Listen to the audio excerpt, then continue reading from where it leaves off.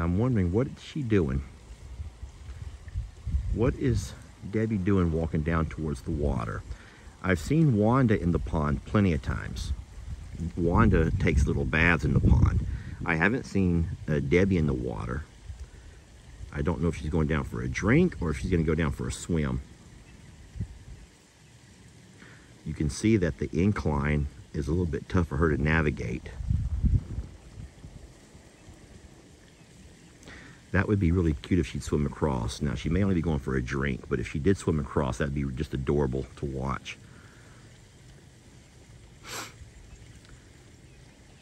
Now, she could also be fishing. Nope, she's going to show y'all how deep it is. Sweet girl. I love her. She looks like the Loch Ness Monster. Loch Ness Monster discovered at Longhorn Lester's. she's swimming right now. That's deep. Now she's coming up. Sweet baby. You know how smart that is. Now you all can say whatever y'all want to say about how dumb these birds are. They got tiny brains, Lester. They're dumb as a doorknob. Well, guess what? She just found herself a shortcut around this pond instead of going all the way over there and across that spillway. She's like, uh-uh, screw that. I'm a prehistoric bird. Dad just said it. And I can swim and do a lot of things for myself. And y'all need to stop talking mess about me and we do. We need to stop talking mess about her. Oh, Lord, here's all the girls gather on the water cooler. This is never a good thing. When girls gather up around the water cooler, that is never a good thing. No, sir. The question is, who are they talking about today? Uh-oh, look out there, doggy. Brutus, you might, might need to look out. Brutus had no idea. Brutus is pissing on tires. He had no idea that there's prehistoric birds about to take him out.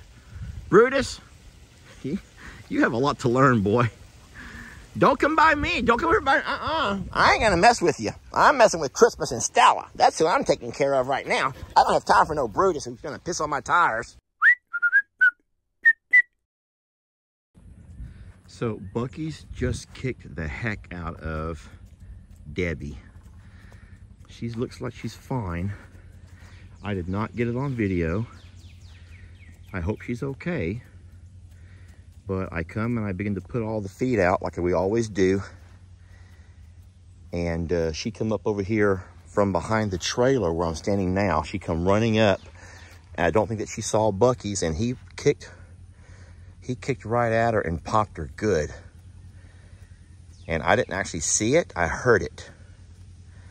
I don't know where he hit her at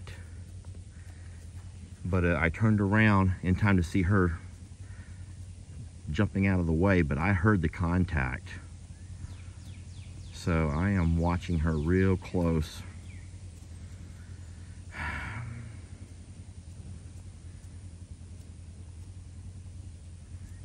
And so the thing is, this is not even the horse's feed. This is where the horses come running up to eat the bird seed.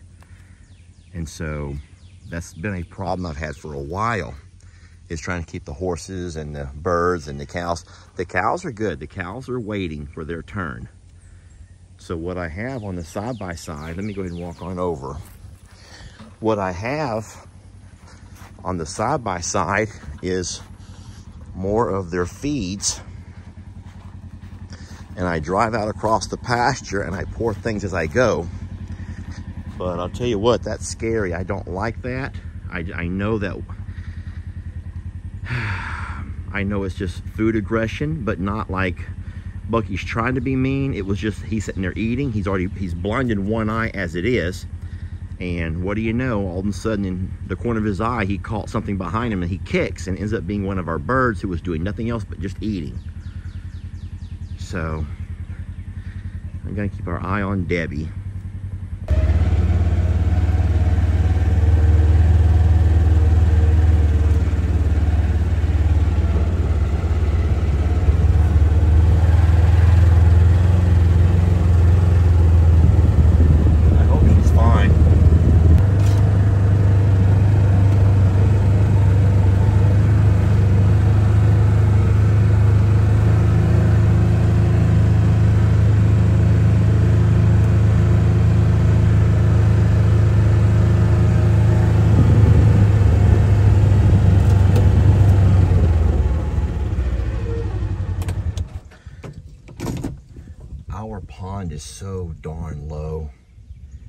We could use, uh, I'm gonna say 10, it, it could go 10 feet, guys, and still be good.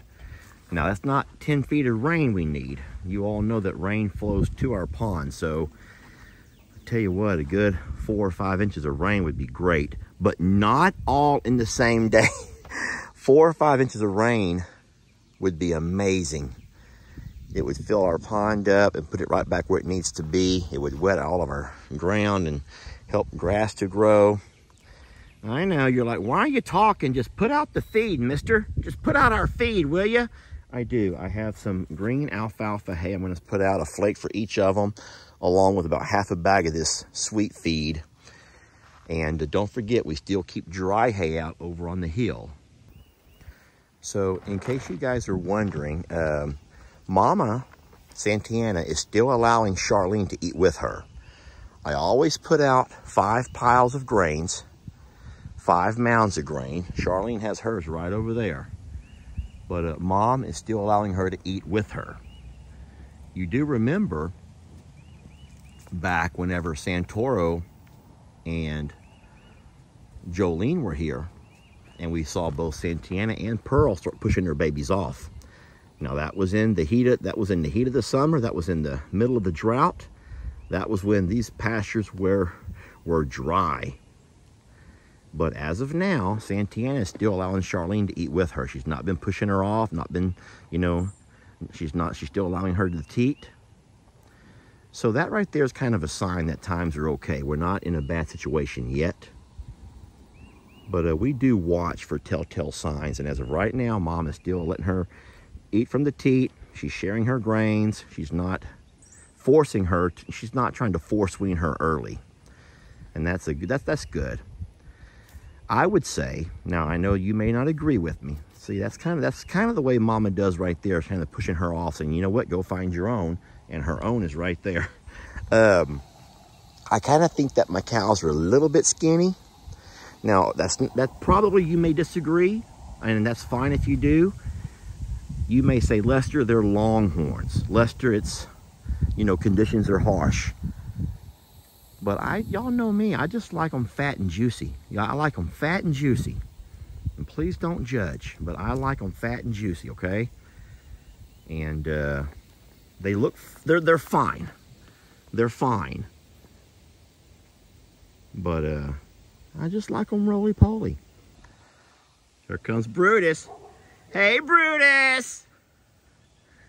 Hey, buddy, you coming to help Dad? I snuck off on him. He's like, hey, where did you go, man? Where did you go in that machine? And uh, how come we're not riding together like buds? Oh, no, he's messing with White Kitty. Uh-uh, Brutus. Kitty, Brutus, we don't mess with kitties. That is a no-no. We love our kitties here. You know, kitty cat, you see her there? She kind of camouflaged in with the bull rock around her. Brutus, that's a no-no. Boy, don't make me get my spanky stick out for something like that. Uh-uh. We love our kitties. Good boy. You sit down and be sweet. This is white kitty, kitty. No, sir. No. That says no means no. Mm, kitty, kitty, let me take you up. Kid. Brutus? No, sir. No. Go ahead, kitty. Go on. Go on she can go out to the barn where she'll be safe. But over here, Bruce is like, hey, hey, that's a cat and I'm a dog, man. I'm a cat. That's a cat and I'm a dog. And you know about cats and dogs. Kitty, I can't stand here and watch them the whole time. Kitty, white kitty. So her name is Avalanche and she is hard-headed as they come. Once Wanda gets over here, Kitty will be a lot safer because Wanda ain't gonna allow any nonsense from Brutus. Brutus sitting there like a sweet boy. Hey, you come with me, come on. Come on, you come with daddy, come on. You come out here and work. I'm gonna teach you about these longhorns. Let me teach you about these longhorns. Now he's upset because I screamed at him. I didn't scream, scream. I just kind of raised my voice a little bit. Yeah, these, uh, Brutus is learning about the farm and the do's and the don'ts. And one thing that we don't do is allow our dogs to be mean to our kitties. We don't like that. Mm -mm, we sure don't. I'm going to drop off some green hay while I'm here. This is the alfalfa. And you can see now that uh, Charlene's like saying, you know what, I'm still hungry, so I better go back and grab that leftover that Mama left me. And she better. She needs to learn to start doing that. Oh boy. What are you gonna do, Charlie? He can't swim worth a nothing. Y'all need to watch him swim. He dog paddles like a little kid. Come here, buddy, come on. Come on, Charlie. It's not that deep. Come on. Watch him swim. Come on, Charlie, come on. Come on across it. Charlie can't swim for nothing. Now, his brother, Echo, is an amazing swimmer. It's funny how they're from the same litter. Oh my gosh. No one called y'all. We're not calling all dogs to the pond. All right, let's call all dogs to the pond. Come on, babies, let's go. Come on, little ones. We got dogs all over the barn waiting for me. Come on, Trixie, come on across. Help Charlie. Trixie, swim it. Just swim it. Watch uh, Echo here. He will swim across with no problems whatsoever. I have video of Echo and Charlie swimming. I made video for Ellie and Megan to show them how good the dogs are doing. Do you need help? Charlie, do you want help? Oh no. Echo, help him. Come on, keep coming. You've come that far. Uh, Charlie is actually dog paddling. Echo came across with no problem. Charlie, you big galoot. But I'll tell you this, the Charlie, he got about halfway across and he's like, uh-uh, I might not be able to make it. And then he realized how far across he was, so then he had to swim. Now Echo, he, he can swim. Baby, how come you didn't swim? You can swim so good. You swim with daddy only, huh? She's like, I will swim, but only with my dad. Because she don't want to swim. She wants me to hold her. How many of y'all women have gone to the beach with a man. But you don't really care to go into the water, but you do go into the water because you know he may hold you. Yeah. Uh-oh. Echo, come on, don't turn around. Echo, swim over here. I told y'all how good he could swim, and that was not a good example of proper swimming technique, right, at, at all. He looked about as bad as his brother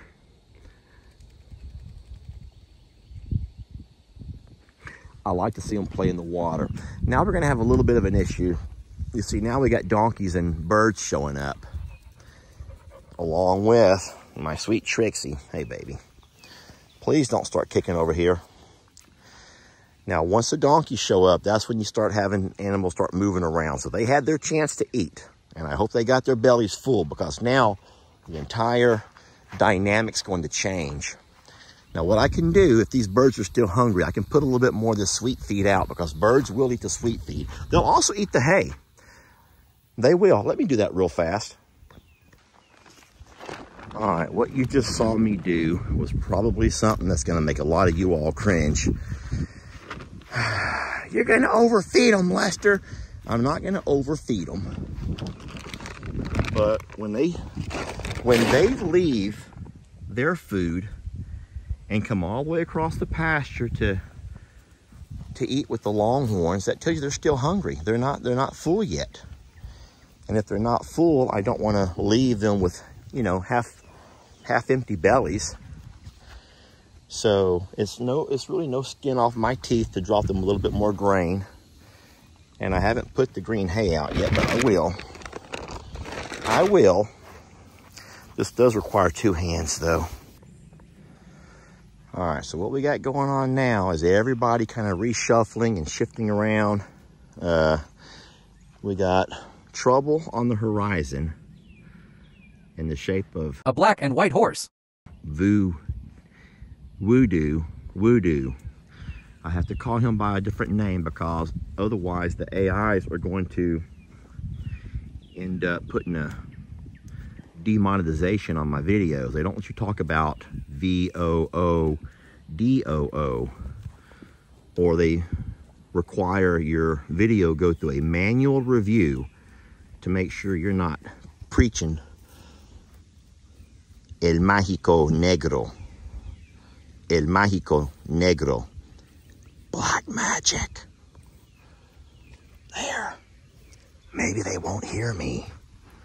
But uh, no, they. Uh, I told y'all before that whenever I say his name, that's the black and white horse. When I say his name, then all of a sudden everyone gets all crazy, like, what's Lester doing? What's his videos doing?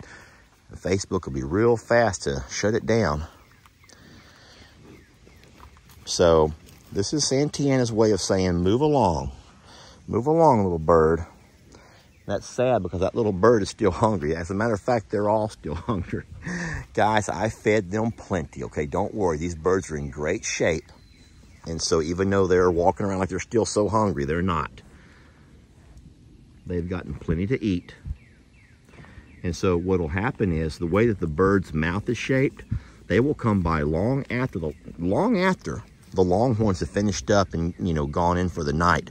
The birds will come back. Let me show you here the birds will come back and with their beaks, they can pick all that stuff up. They will pick all of that up.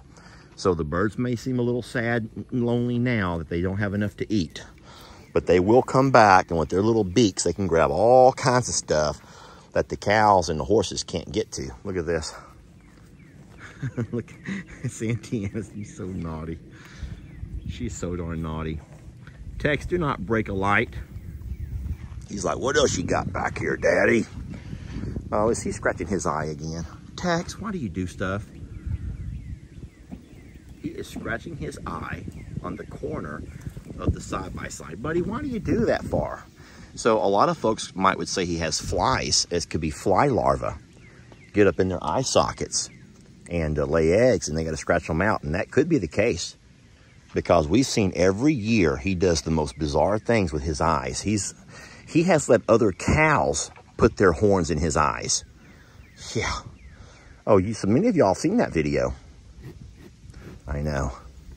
Don't eat the string, buddy. Tex. Oh, I don't mind sharing the green hay out of the back of the side-by-side, -side, but I don't want him to get a string and caught up in his mouth. These poor birds.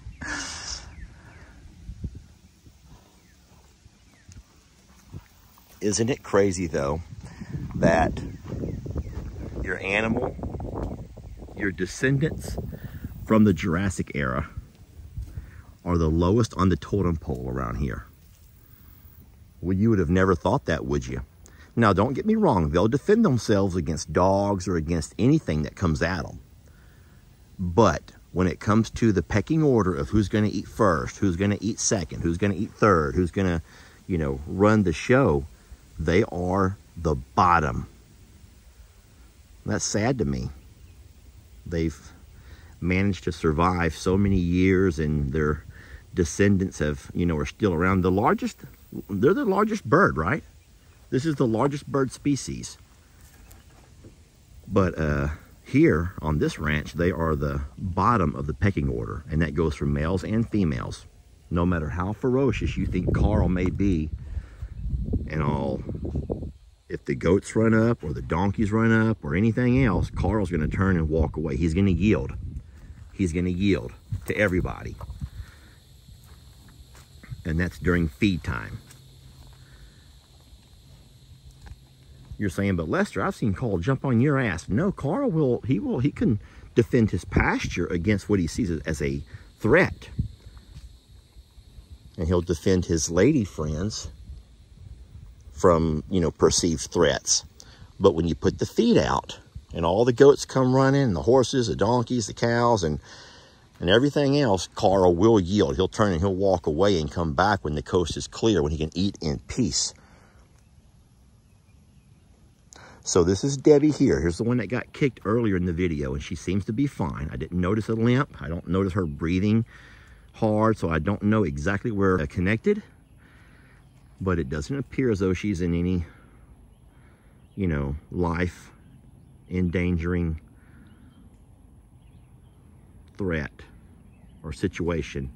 You know what I'm saying. But I'll still keep an eye on her. Here's the thing though. Let's just say, for example, I did notice that she's breathing weird or she's walking weird. You do know there's not much you can do about that. Guys, you don't have vets who are anywhere near your vicinity who would say, yeah, load her up and bring her in. Load her up and bring her in. Baby, don't turn your butt around to me like that. People are going to talk about us. Look how social they are. She has followed me around this entire pasture, want me to love on her. Baby, I do love you, but I don't have any snacks. I don't. Well, where are you going? I thought you wanted some loving. Oh, she just wants a drink of water. She don't want no loving, y'all. She just wants a drink of water, and she might want to go check out whatever I have left over in that side-by-side. -side. That's why she's following me around. she sees that Wanda has found something to eat in the back of that side-by-side, -side, and Tina's like, you know what? I'm just going to follow you around and see what I can find. But first, you need a drink of fresh water.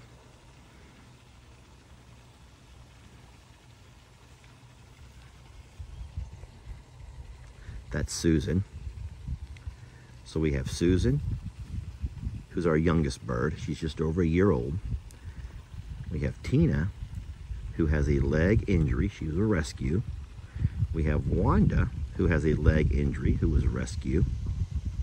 Now don't forget, uh, sheesh. Susan was born here. Not here, but she was born at Ima Survivor. She was one of the eggs that was laid by Debbie and hatched by Carl. And I'm wondering, what is she doing? What is Debbie doing walking down towards the water?